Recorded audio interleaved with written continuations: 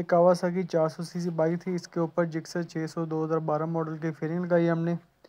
Side cover एक, इसका fibre glass का, ठीक है। टैंक कवर भी फाइबर ग्लास का फ्रंट नोज़ भी फाइबर ग्लास की राइट साइड जो है इसकी प्लास्टिक की और टेप प्लास्टिक की है। देख सकते हैं आप, बहुत ही ज़बरदस्त फिटिंग आई है। और टैंक कवर जो है, इसमें हमने हायाबूसा का लगाया, क्योंकि इसका फ़िल्टर बॉक्स काफ़ी ऊपर की तरफ़ था। इसलिए कोई और टैंक जिक्सर का इसके ऊपर फिटिंग नहीं बैठ रहा था सही तरह से। तो इसलिए हायाबूसा का टैंक कवर लगाया और बिल्कुल ज़बरदस्त फिटिंग आई इस पर